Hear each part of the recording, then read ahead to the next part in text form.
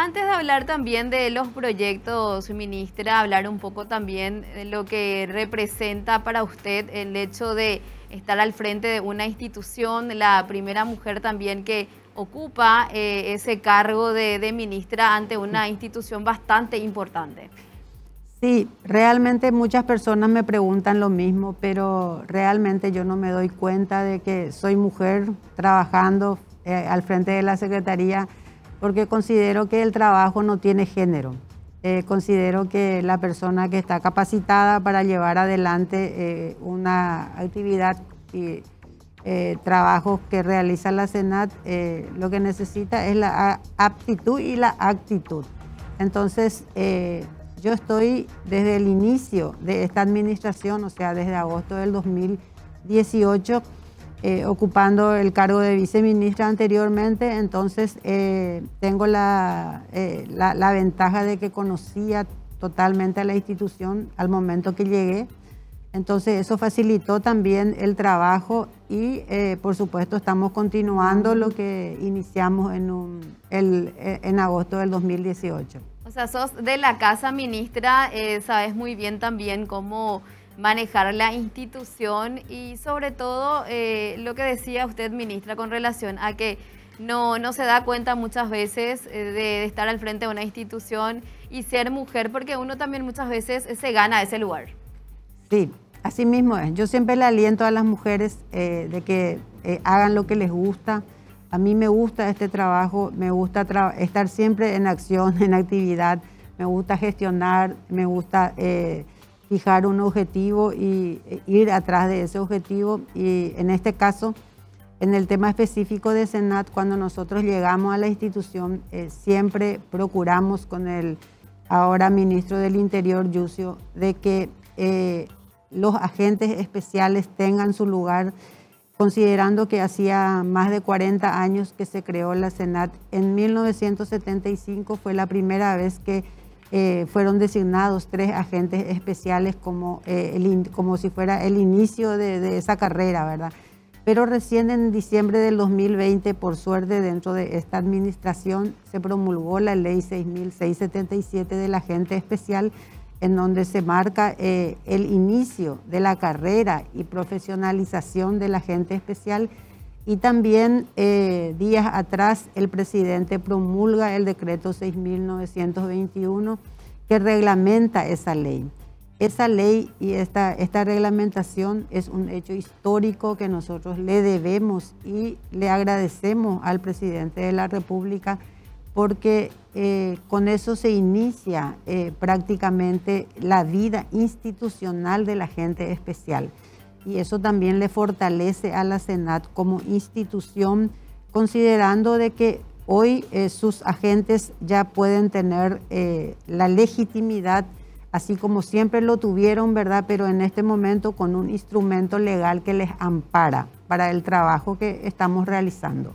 Doctora, con esta ley, como usted, como usted está mencionando, se le ampara a la gente de la Senat, pero ¿qué otros eh, requisitos, otro tipo de reglamentaciones va a ir teniendo esta ley de ahora en más. Sí, eh, de hecho nosotros eh, ya estábamos como organismo de seguridad en la ley 4876 de armas, municiones, etcétera, como organismo de seguridad que ya podíamos portar armas, etcétera. pero esta ley es la que regula la carrera del agente especial. Existe la ley 1340 de drogas que ahora justamente está en el Congreso eh, con, un, con un proyecto de modificación, considerando que es del año 1988 y que está un poco desfasado en el tiempo en algunos artículos. Eh, entonces, lo que eh, en este momento está con el diputado Tito Ibarrola, que es el, acá, el que está a cargo de la Comisión de Lucha contra el Narcotráfico en Diputados, y con él se está trabajando en la modificación. Como ustedes sabrán también, ahora tenemos, un, tenemos el cannabis medicinal, tenemos el cultivo del cáñamo industrial, que son especies de cannabis eh, sativa, eh, llamado marihuana vulgarmente, ¿verdad? Y que necesitan también ser fiscalizados. Entonces, todo, todo ese tipo de situaciones no están reguladas en la ley También tenemos otros que se refieren específicamente a, la situación eh, del agente provocador o el agente encubierto, etcétera, que son eh, cuestiones que hay que discutir e ingresarlo en la nueva, en la modificación de la ley 1340 que se está queriendo hacer. Entonces, eh, estamos trabajando también en eso, en actualizarlo y que pueda servir también a la institución para generar un poco de ingresos propios. Doctora, justamente puntualizando eso, es momento de seguir debatiendo, de abrir aún más el debate con lo que respecta al cannabis, tanto del cáñamo medicinal como también en la parte recreativa, o Paraguay no está preparado institucionalmente para eso. Y realmente eh, yo creo que es un proceso que nosotros tenemos que seguir adelante, porque en el año 2017 eh, se promulga la ley que permite el, cannabis medicinal, o sea, el cultivo, la elaboración del cannabis medicinal, que, en el cual el Ministerio de Salud Pública ya dentro de este gobierno eh, autoriza las licencias a 12 empresas laboratorios para que puedan eh, realizar todo el proceso para lograr el, el producto que es el aceite de cannabis medicinal. La segunda etapa fue con un decreto, el presidente en el año 2019 declara de interés el cannabis industrial o cáñamo industrial, que en ese momento no había ni una sola planta en Paraguay de lo que es el cáñamo industrial y sin embargo hace un mes atrás ya se logró exportar a eh, Europa y también a Inglaterra, eh, perdón, a Canadá eh, unas cuantas toneladas ya del cáñamo eh, y eso es eh, totalmente innovador y exitoso. Y yo creo que la tercera etapa tiene que ser ir hablando sobre el cannabis recreativo en sus distintos aspectos. la verdad que se los llama vulgarmente liberalización, pero en realidad es una regulación, porque tanto Canadá como Uruguay, que son los que están más cercas, regulan el, el, porcentaje de THC, no es que liberan totalmente para que se pueda consumir cualquier tipo. Pero considero que nosotros tenemos que empezar a debatir sobre ese tema, pero también tiene que ser un debate regional, porque nosotros solos como Paraguay no lo vamos a poder hacerlo de una vez, de una buena vez, sino que hay que hablar con los vecinos que son eh, no podemos negar que, sí, que se instale ese debate, pero es, es tiempo. Yo creo que es algo a lo que tenemos que íbamos a ir llegando. Sí, y de hecho, ministra, que muchas veces eh, uno cuando habla de, marihuana, eh, se habla también incluso del tema de la legalización, si no sería una forma también de luchar contra el narcotráfico.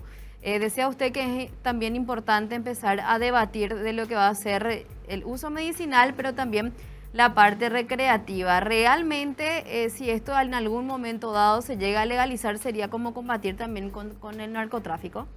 Y es relativo, es relativo porque, eh, por eso digo que el debate tiene que ser regional, porque hay que considerar que nosotros somos grandes productores de marihuana. Y en el caso de que se llegue a legalizar en el país, igual va a ir en el otro país vecino, va a ir como contrabando, por ejemplo. O sea que nosotros no vamos a combatir ahí el crimen como tal. La, cuestión tiene que ser debatida y encontrar una solución eh, integral y eh, eso, eso tiene su proceso. Eh, yo sé por informaciones estadísticas, científicas y también eh, de los medios de prensa de que Uruguay, por ejemplo, tardó muchísimo en llegar a, tener eh, registrado y, sistematizado todo lo que se refería a la legalidad o a la regulación que ellos estaban haciendo. Pero eso tampoco hizo de que la criminalidad se reduzca, porque eh, como está regulado el porcentaje de THC, existen usuarios que buscan mayor porcentaje eh, de, la parte psicoactiva, entonces igual van al mercado negro. O sea que son cuestiones relativas, pero que eh, hay que ir analizando. Doctora, justamente también cuando hablamos de eso, de la industrialización del cannabis, ocurre también que mucha gente lo viene plantando y el uso medicinal a través de varias organizaciones. ¿Qué pasa ahí también con eso? Con las organizaciones que, que van trabajando el aceite medicinal de cannabis, por ejemplo, pero no se encuentran inscriptos reglamentados a través del ministerio o instituciones como la Senat. Sí, realmente nosotros somos autoridad de fiscalización y de aplicación de políticas antidrogas, pero el consumir el aceite medicinal o el, aplicarle a una, a una persona que necesita ese tipo de medicación es una cuestión de salud pública eh, y es una cuestión bastante eh, interesante de analizar. Eh, nosotros tenemos conocimiento de que en muchas casas se hacen el aceite medicinal en forma casera y o, se agrupan y hacen para, un, para los usuarios que lo necesitan. Y sin embargo, eso no pasa por ninguna inspección médica. Entonces, la duda siempre es si qué tipo de aceite le están dando a esos usuarios. Porque muchas veces el porcentaje de THC, por ejemplo, puede ser alto y lo que le estamos dando eh, a la persona puede llegar a ser solamente paliativo y no medicinal. Son cuestiones muy sensibles porque yo me reuní varias veces con la organización que se llama Mamá Cultiva y realmente eh, ellos, ellos hacen el aceite y yo siempre, yo les decía, ayúdennos a encontrar una salida porque eh, plantar marihuana, aunque sea para uso medicinal, está prohibido en Paraguay. La ley 1340 es muy clara, no habla de eso. Y tampoco la ley 6007 que regula eh, la fabricación del, del, cannabis medicinal. Entonces, lo que ellos están haciendo no es legal, pero no por eso no es necesario, porque yo como mamá también me pongo en el lugar de ellas que cualquier producto, cualquier medicación uno quiere darle al hijo que está necesitando. El sufrimiento de la persona que lo necesita tiene que ser también un motivo para seguir pensando y analizando este tema. De hecho que la ley 6007 dice de que estas empresas que ganaron la licencia tienen que producir el aceite y donar el 20% de su producción para tema social. Lamentablemente por cuestiones de eh, la pandemia se fue retrasando, ellos pidieron una prórroga para poder eh, tener más posibilidad más tiempo para eh, hacer el producto y bueno, y eso estaría venciendo creo que en febrero, pero después ya existe la obligación que sí o sí tengan que producir y entregar el 20% para los que lo necesiten en forma gratuita. Ministra, eh, por otra parte también, bueno, ya conversando también de lo que tiene que ser eh, de legalizar o no el, uso, en este caso de, manera recreativa de la marihuana, también está por el otro lado las incursiones que llevan adelante desde la Senat. Eh, de hecho que también ayer se hizo una incursión en Campos Morombí. Bueno, eh, tener también detalles de lo que fue eh, esa, ese procedimiento, ministra.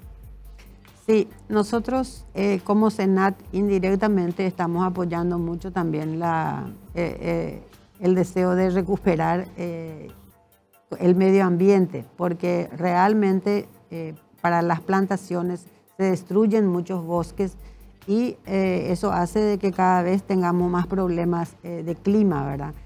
Em, sí, es cierto, ayer incursionamos en Campos Morombí y también solemos, eh, estamos pensando este año, antes de que termine el año, hacer eh, varios operativos que nosotros le llamamos restaurar, en el cual procuramos eh, llevar adelante operativos. Ahora tenemos una, firmamos un convenio con una empresa privada de poder realizar bombas de semillas y nuestra idea es cuando el tiempo lo permita ir y tirar esas bombas en toda la parte, por ejemplo, del Parque Cerro Corá, que fue el que se incendió en su totalidad, para poder ir recuperando eh, la vegetación para que germinen estas semillas, porque son bombas de semillas para que, puedan, para que podamos recuperar los bosques.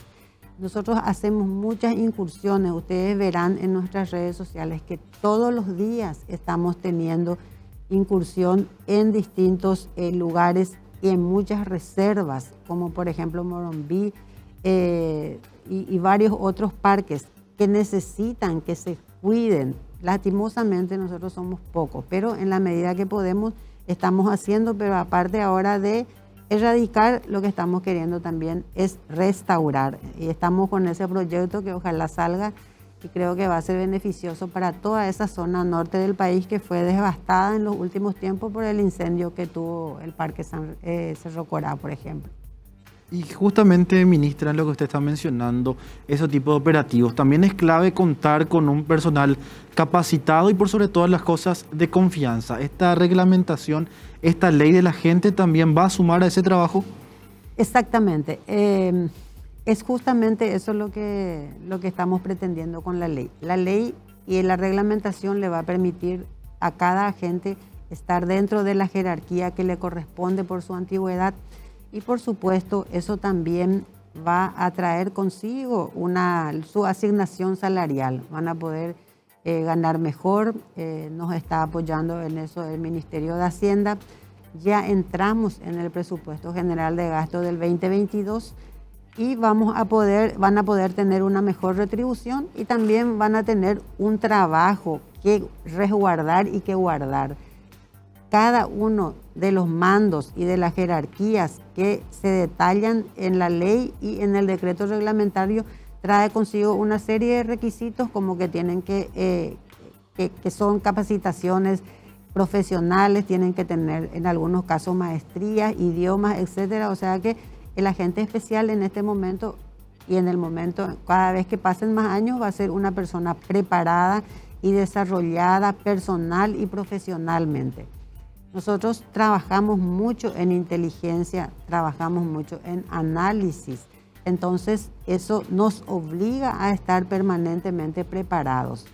Eh, yo les puedo asegurar de que en Senat existen muchos, si no son la mayoría, agentes especiales muy preparados. Y ellos tienen que poder tener la oportunidad de demostrar eso y que el Estado les retribuya para que ellos dignamente puedan eh, seguir haciendo su trabajo así como lo están haciendo.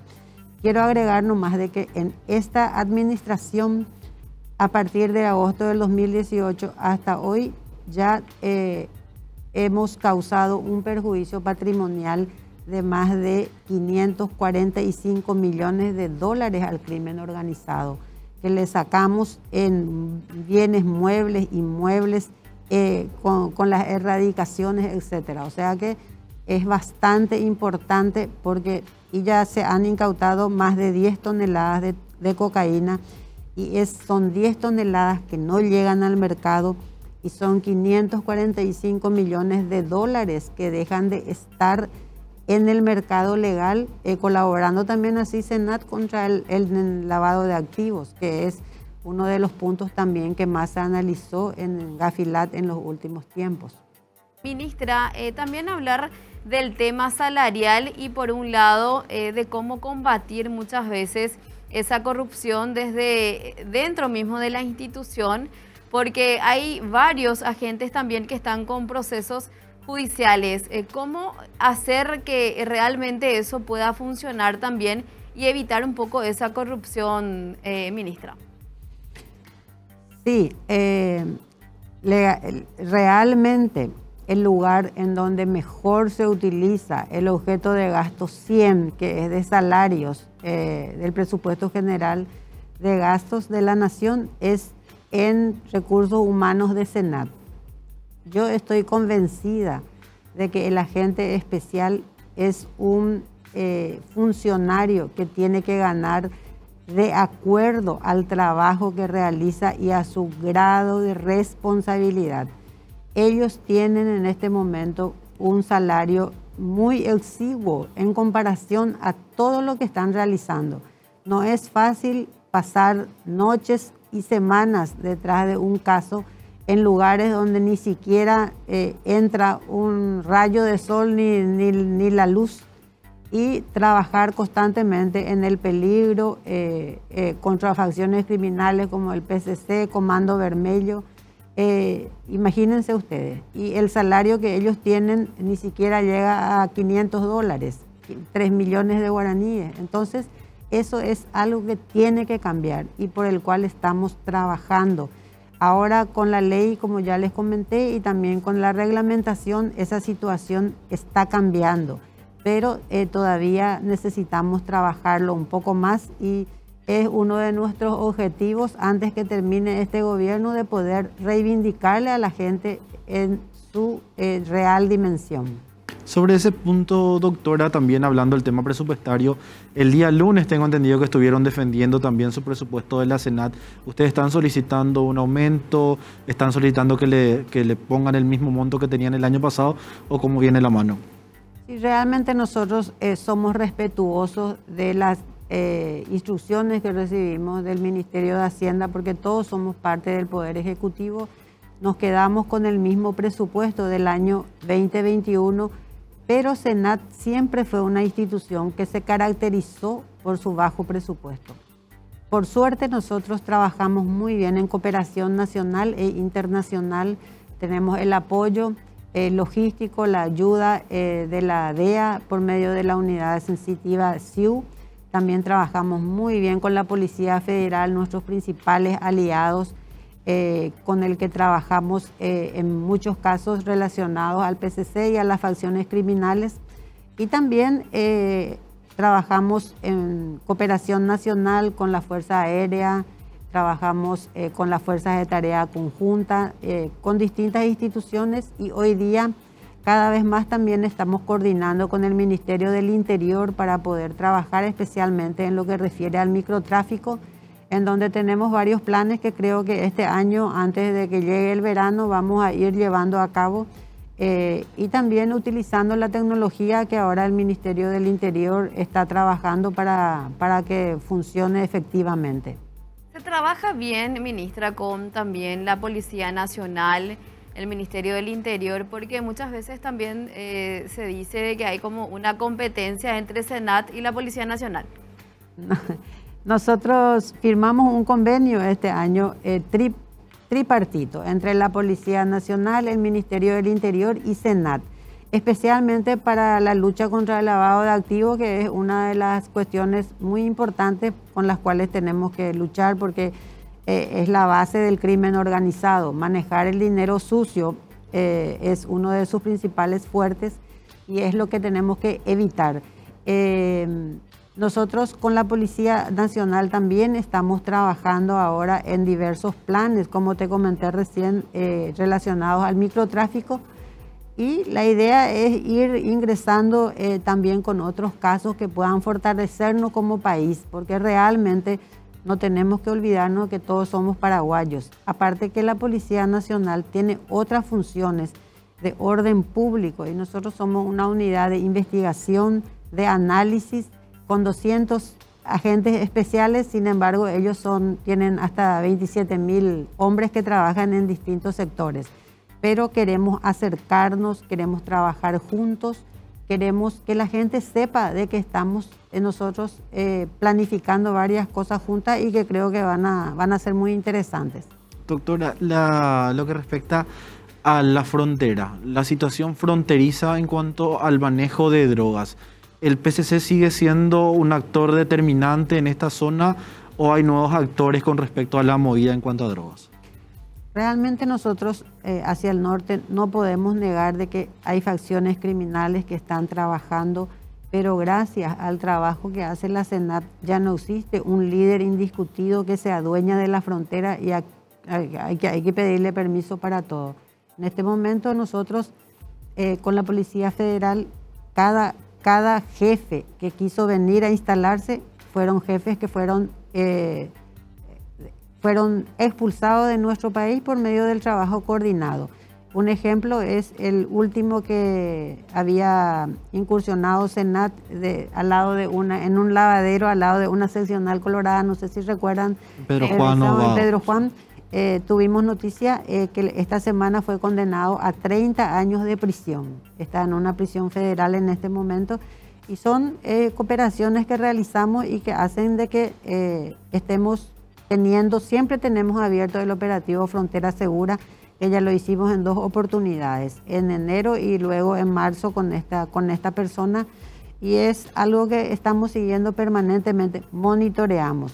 No podemos eh, tener la certeza ni podemos decir en este momento no hay facciones criminales en nuestro país porque eso sería una utopía. Necesitamos más tecnología para poder eh, trabajar mejor, pero también necesitamos más hombres. Ahora, por suerte, van a egresar este año de la escuela eh, del Instituto de la Senat 30 nuevos agentes especiales que van a ir siendo capacitados para, los distintos, eh, para las distintas direcciones que tenemos nosotros y creo que con eso vamos a potenciar bastante la, la dirección de inteligencia y también la dirección operativa. Tenemos varios planes de crear eh, direcciones de inteligencia estratégica en el norte, tenemos otro plan en el sur y uno en el Chaco, en donde también eh, tenemos que ir preparándonos porque vamos a tener terminada la ruta bioceánica en algunos años y esa se va a convertir en una ruta muy importante de negocios, pero también puede ser utilizado eh, en forma ilícita para actividades ilegales. Entonces tenemos que estar preparados como CENAP eh, y estamos trabajando en eso.